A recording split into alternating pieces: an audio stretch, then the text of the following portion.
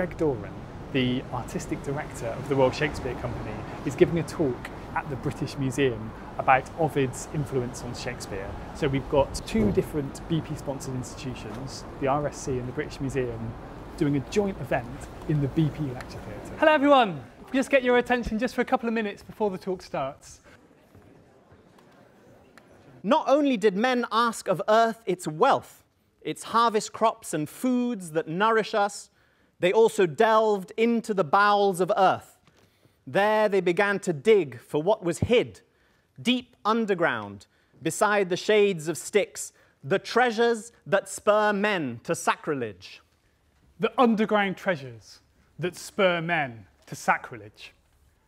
The Royal Shakespeare Company and the British Museum have just signed a five year promotional deal with the oil company BP. The company's logo is on their walls, their brochures, it's even on the name of this lecture theatre.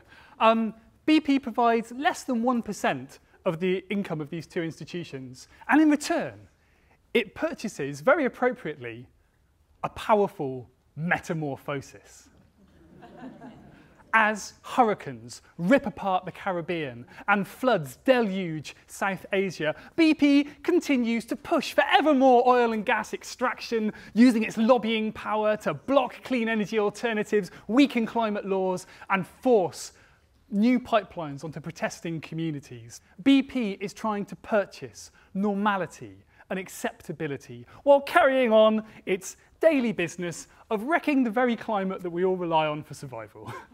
So please do enjoy tonight's talk. But don't be fooled by BP's attempts at shapeshifting.